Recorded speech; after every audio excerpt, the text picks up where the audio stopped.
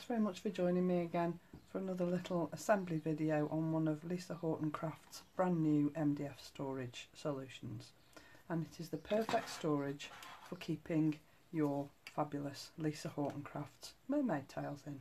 These pots are the perfect size to fit in to these holders.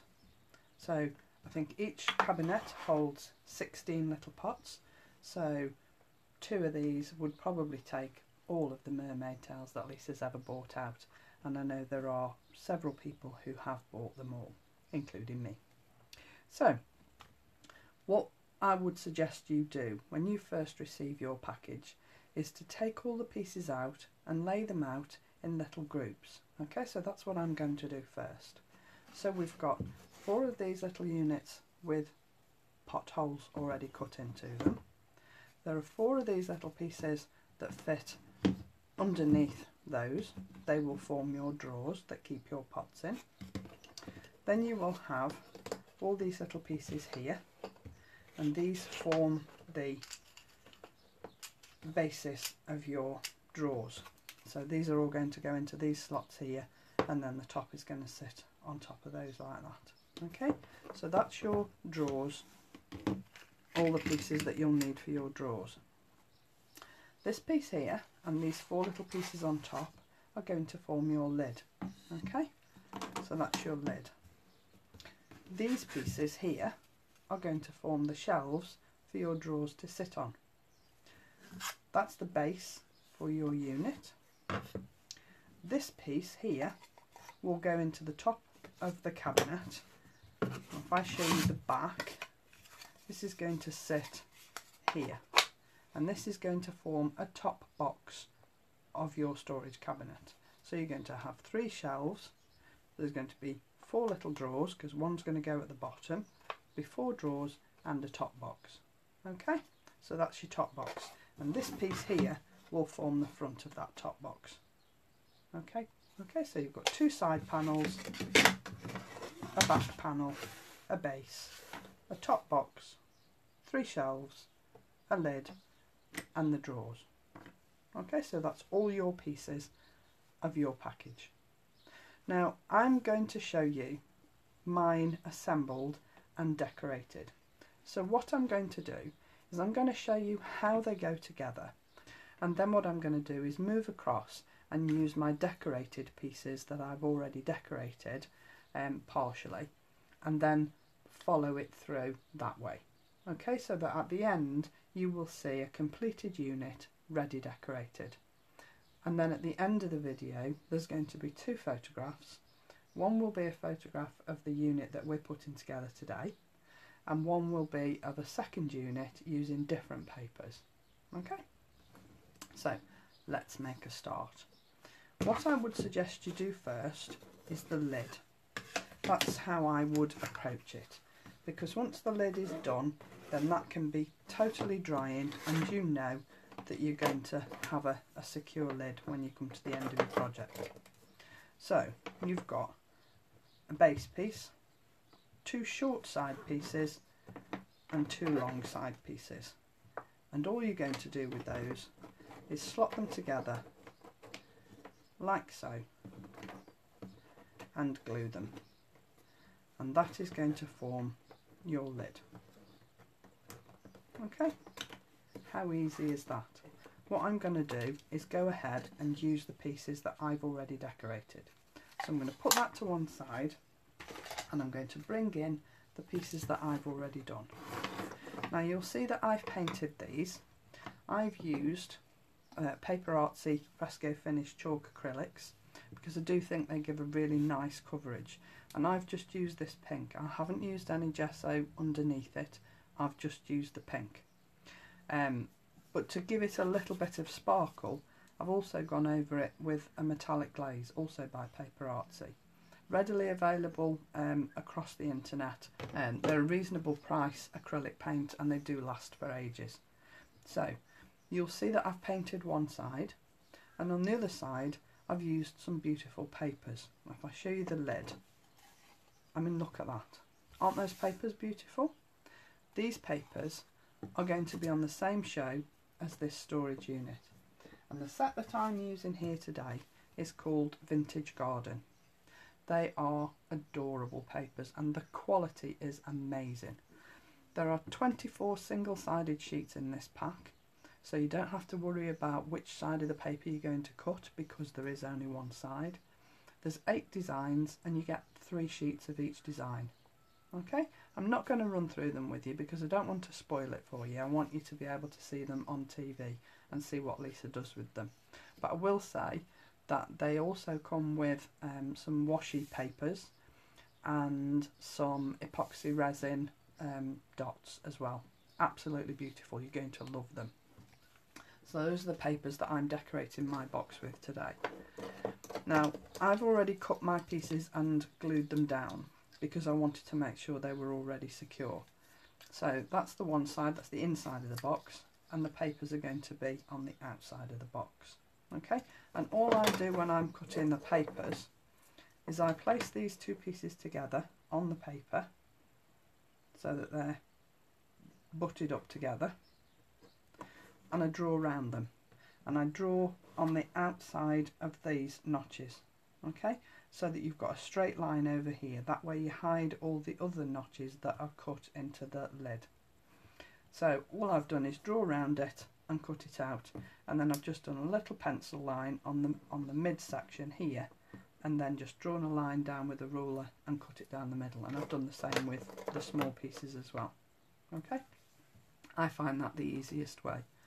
So here's my lid and as I say this is the inside and basically all I'm going to do is add these in here like this and glue them in.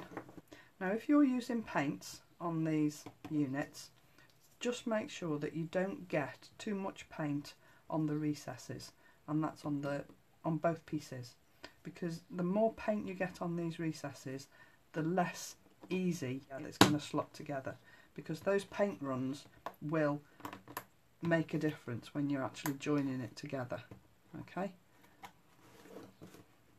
So what I'm going to do is I'm just going to slot this together and then I'm going to glue it and I'll come back and show you the finished lid totally glued together all in one piece. And then we're going to put that to one side and move on to the main cabinet. Okay so there's our lid all glued together, decorated inside and out, and we can put that to one side so that we can add that to our finished project later. So I'm just going to put that to one side for now. Now then, I would make the drawers next. So you have a base unit and a top piece, and then you'll have three pieces that sit in these notches here, like that that gives you the depth of your drawer and then all you're going to do is slot, slot those on top like that and glue into place. How easy is that? I'm going to move to the pieces that I've already decorated and put those together. Okay, so here's my finished drawers, all but one. So this is the one I haven't finished. These are the ones I've done. This paper here is Lisa's brand new washi paper and this is also the vintage garden which matches the papers and the paper pad. These go on like a dream and all I've done is cut a piece, I've, I've put my, my lid down onto my washi paper, drawn round it and then cut it out. Simple as that. Now you'll see that these little holes here are still intact on this one whereas I've already cut them out on here. Okay? If I just show you the easy way that I've cut these out. It's so quick and easy. Really it, it takes no time at all. So I've added my washi paper and I've trimmed all the outsides. Don't cut these pieces out here because they're going to hide these notches here. So all I'm going to do is I'm just going to place my scalpel. Be careful if you're using a scalpel, the blades are sharp. And all I'm going to do is, as if I was using a pencil, is go around the inside of the circle. I'm moving the draw top rather than the knife because it's easier. and I'm just going round the inside of the circle on that lid top and just cutting out that circle. This is so quick and easy and these washi papers are such good quality. They don't tear, they just cut. Obviously the sharper your scalpel blade, the better. There you go. Four circles, cut out, perfect finish. And now all I'm going to do is add this to this. Now because I can't see these holes here, what I'm going to do is turn this upside down and add the base to the lid rather than the lid to the base. Okay, I know that sounds a bit contradictory, but it's so much easier to line these up with these holes if it's this way up. So I've added my glue and I'm using the Pinflair bookbinding glue. Perfect glue for this sort of thing and it will have a really good adherence for the MDF to stick really really well. Okay, so I'm just manoeuvring that into place, hold it together and you've got your drawer unit beautifully fitted together and it's not going to go anywhere. Once that glue is dry it really isn't going to go anywhere and all I would do is just make sure you've got no little runs of glue that show on your unit. Okay, so there's your fourth drawer unit completed. I'll just put that original to one side. So now I've got four drawers and I've used two different washi papers so that I've got two drawers with one pattern on and two drawers with a different pattern on. So I'll put the drawers to one side and then what we're going to do is put the base of the cabinet together and then we can fit the drawers in. Now then, this is our base and the notch goes to the back. And what you're going to do, I just put that to one side, is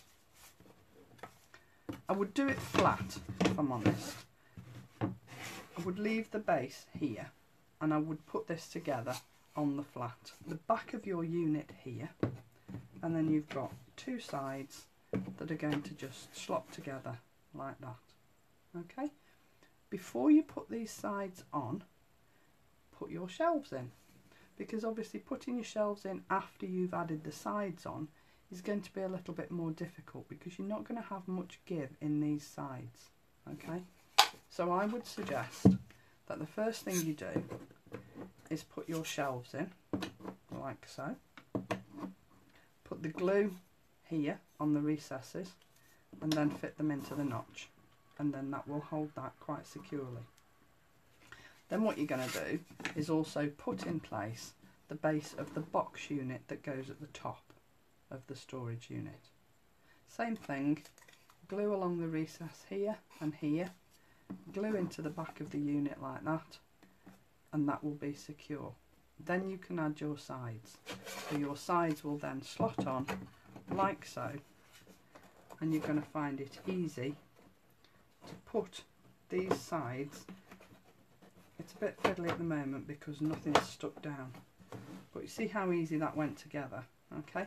And then your other side will be twice as easy because these are already in the right position. Doing a little bit of fiddling around so that's your unit put together basically okay? I would glue all that together first and then put your base on. Okay so I'm going to move on to the piece that I've already started to decorate so that I can glue it and show you what it looks like as it's finished. You can see I've already cut my papers. This is the inside of my unit. Doesn't matter which way round you use this the marks on the MDF are just where the um, laser has cut the MDF it's not going to make any difference to you decorating it in any shape or form. You can just use papers, you can just use paint, you can use acrylics, anything you like really. The MDF will take pretty much anything you throw at it. Okay, you could use stencils and texture paste if you wanted to and then paint that, whatever you like. I've just chosen to go with the acrylics because I do like the finish that they give. So I've put my sides to one side at the moment and then I'm just going to use my shelves and my top. Okay, so let's put this together. You'll see I've already painted the shelf, um, the top box, top and bottom. And I just leave that in place like that. And then I'm just going to go in and add in my three shelves like so. You don't need to be over generous with this glue. It is a fabulous glue and it will give a really good adherence for your MDF. So I'm just going to hold that in place slightly for two or three seconds just so that it it stays where I want it to. Okay, so I'm going to go ahead and I'm going to glue all these into place and then we're going to go to the sides. Okay. So those are all our shelves added into our unit. And I think you can see already that when it's finished, it's going to look really, really pretty. So, first thing I'm going to do is put my sides on and make sure that when you put them to your base unit that you've already put together, you've got them the right way around so that all three notches are at the bottom so that it fits in to the base. Because the last thing you want to do is get all this finished and suddenly realise that you've put one of them or both of them on upside down. So make sure that you think about it before you put them together, lay them all out like I've laid them here, make sure that all the notches are at the bottom and that you've got a smooth top. Okay, so let's get on and put the sides together. So first thing I'm going to do is add my glue in here to the recesses on the back of the little cupboard, back of the unit. As I say, you don't need to be overly generous with the glue, just a quick rundown and it should just, there should be enough there just to stick it together. So then I'm just going to slot that in place in those notches there and then I'm just going to slightly move these around until they all fit into place. Like I said, when you put the first side on, it's a little bit fiddly till you've got everything lined up perfectly and then it will just push into place like so. And then you can just push down on it so that it all sits in place and fits together perfectly. Okay. And then when you come to put the other side on, you should find that when you come to put this side on, it will fit together much easier than those other, that first side that you did. Because obviously this has now got a little bit more stability to it. It's going to be a little bit easier to locate these notches into the recesses on the other side panel. So here we go that on there like that. And then all you're going to do is just a little bit of wiggle room because obviously they all need to line up perfectly before they'll slot in. But look that was really quite easy wasn't it? And then just push it together and hold it for a few seconds until that glue really takes on that unit. Make sure you don't get too much paint on the side pieces of your shelves that are going to adhere to the side piece of your cupboard. Because obviously you want it to stick together flush. And if you get paint runs along those sides that is going to stop that happening. And then what we need to do is put the bottom on. So what I'm going to do is turn it up on its end so that when I come to locate this it's going to slot in quite easily. So again what I'm going to do is I'm going to put my glue on here like so. Now you see there's a bit of paint on there but I have I have rubbed it down a little bit so I'm hoping that it's not going to interfere too much. And then decide which is your best side that you want to be on the outside. Locate it on top of those notches.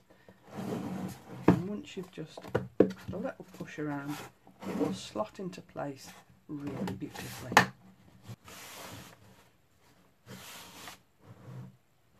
Okay, so that's the main part of our cabinet put together already. And you'll see that these little drawers are going to slot into here beautifully. There you go, three there and then one on the bottom, like so. How beautiful does that look already? So we've got three sides to our box top and we just want to now add the finishing touches to the front of that box, like so. Okay, how easy is that? And then all you've got to do is glue that into place. So I'll just pop that off and add my glue. Now lay it down to do this so that you can see what I'm doing. Put all my glue runs into those recesses there, like so. And then I'm just going to add in my finishing piece that makes our little box top to our unit.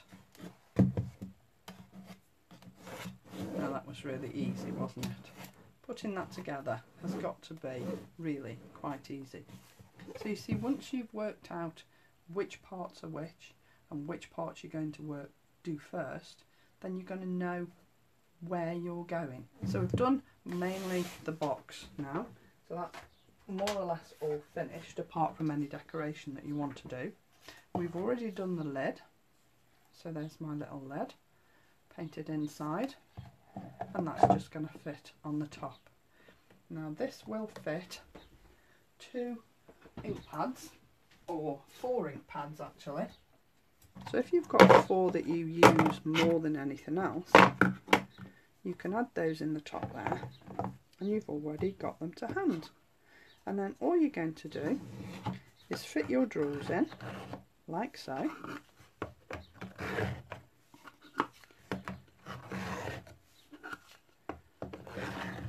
Okay.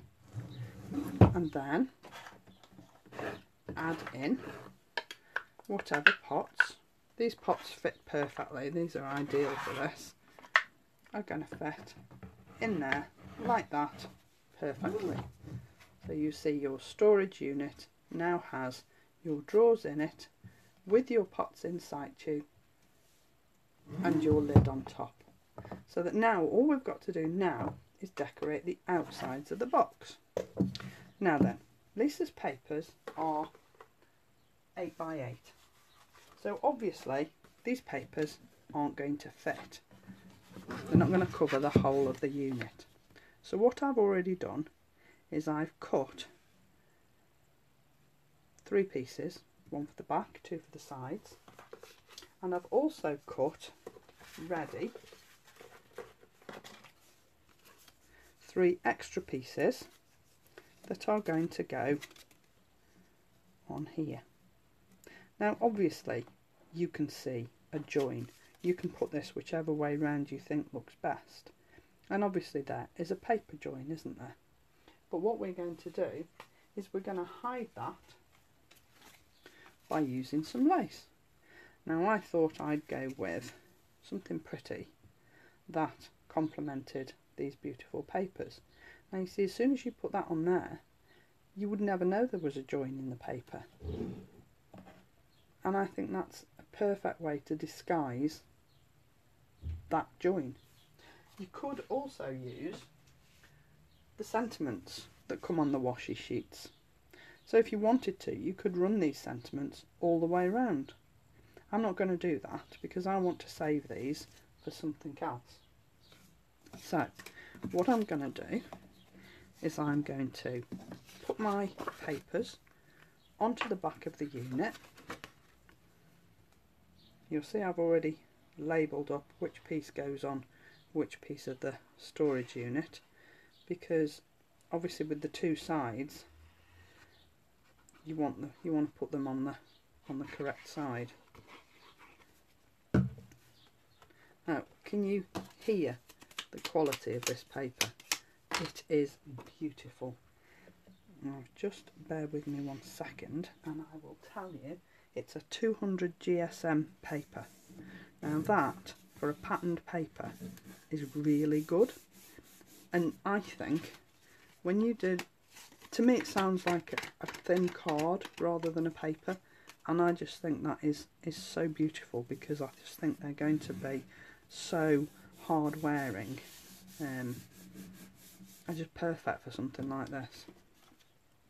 So this is the top here. Now you'll see that this is the same as the bottom here. So it will tie in, although it won't look, if you just left it like this, it would look different, which is why I'm going to disguise the join, because I don't want it to be obvious that I've joined the papers. So, just add this onto the top. And you can see, again, I've already cut these papers and I've done it in exactly the same way as I did with the sides to the top, to the lid. I've just placed my piece of MDF onto my paper and drawn round it. And I've hidden the notches because I've cut it on the outside of the notches. So when I've cut it, I've cut it to this side and I've cut it to this piece here. So I've ignored all these recesses. So that when you put the unit together, you will hide all those um, little notches and recesses. So that's the back done. I turn it on its side, left side, left side. I'm just going to place this down here, glue it into place. I mean this is, to me, such a quick, easy project that is going to look beautiful in your craft room and organise all those beautiful pots of mermaid tails or whatever else you want to keep in it to be honest. Just be aware of the size of the pot because the mermaid tails pots fit superbly. That's that's what they were made for. And see these little pots are what three centimeters deep and three and a half centimeters in diameter. So anything round about that is going to fit perfectly so that's the left side left side top. Now you see when I cut these I did try and match them up as best as I could with the, the rest of the pattern that's on here. So that when you do put them together and you hide the join with whatever you hide the join with it's not going to look really really obvious It's all about working with what you've got and making it fit your project. And I just think these papers are superb. I've also cut a piece for the front of the box there, like that. So we'll put that on as we go round and then we'll do the right hand side. And I just think these papers give a really expensive look to this unit. They're good quality papers and I just think the finish on them is superb. And as I said, these are going to be released with this unit on the same show. So if you like, you know, what you see here, not quite put enough glue in there. I'll just run that down there and then pop it in together. I mean you can distress this if you want to, if you want to go around the edges and do some um, sponging with your distress inks or whatever other inks you use or sprays. You could stencil over the tops of these papers, although I'm not sure why you'd want to because they're stunning. Um, how you decorate your unit is obviously very personal taste, but I think what could be easier than using some beautiful, good quality, gorgeous colours to decorate your box with. Now the um, vintage garden that I'm using here is one of the sets of papers and the other one is called Collage Florals. Now this has got more of a, a pinky base to it whereas the Collage Florals has got more of a bluey base to it. I know there are blues in this, but I would class this as a sort of a a pink palette paper pad, if I'm honest, rather than a blues. So there are samples on our page, Lisa Horton, Crafting with Lisa Horton on Facebook. There will be samples from the design team using both paper pads. So if you wanted to go and have a look, then you'll see the difference. So now what I'm going to do is I'm going to put this on in one piece, but I'm not going to use glue. What I'm going to use is the red liner tape because I just think that the red liner tape will give a better finish. So I'm going to turn the box on its side like that. Make sure I'm doing the front. All the way around. And then obviously I can take the backing off this tape in sections so that I'm not sticking the box to my desk. And because I'm doing it on the join of the paper, I've got a line to work to. So I know that my tape is going to be straight. Okay, so I just snip that off there, like so.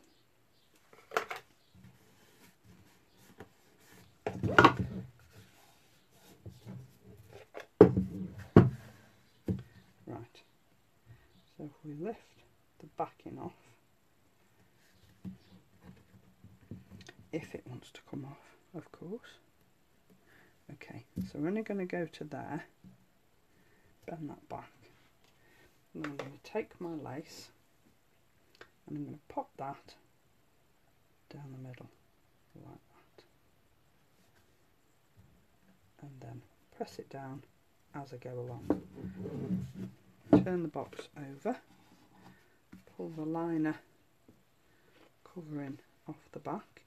Now I would stretch this slightly so that it gives you a, a really flat finish. Take that off. Not too much, don't stretch it too much because you don't want it to look overly stretched, do you? And then use my scissors and then just cut that. I could probably do with bigger scissors. Smaller ones aren't very sharp.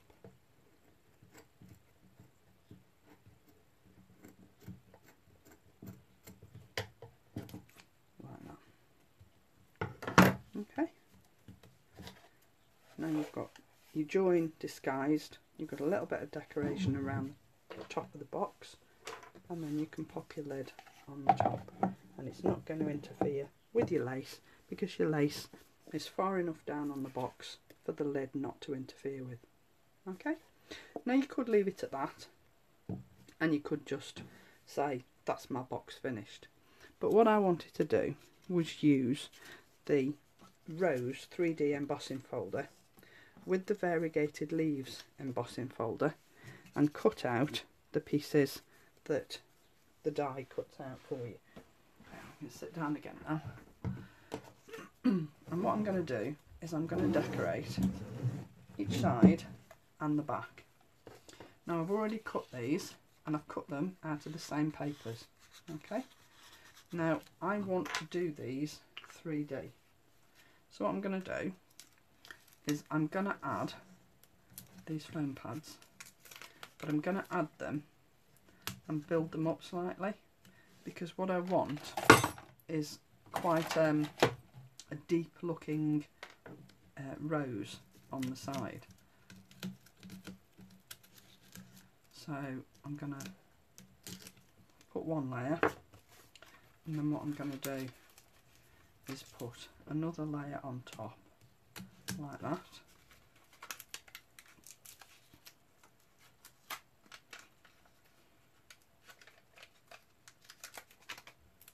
Okay, put that like that, take that backing off, and then I'm going to pop that on the side just there. Okay, so that that sits proud my box.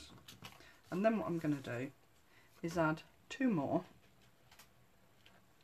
and some variegated leaves. Okay, so I'm going to go ahead, I'm going to decorate the box with these roses and then I'll come back and show you the finished article when I've done that. I'm going to add a top piece to the box which you'll see on the finished photograph at the end. But I think you'll agree that from start to finish that wasn't very difficult. It looks effective, it looks beautiful. The decoration around the edges just finishes it off in my mind. Um, and the, the fact that the papers match what I've used on the actual unit, to me, I just think makes a perfect finishing touch. Um, adding it with a little bit of 3D, I think just finishes it off. So I'm just going to finish off there and say thank you very much for watching. I hope it made sense and I hope you enjoy putting together your unit. I will put a finished photograph of both units on the end of this video.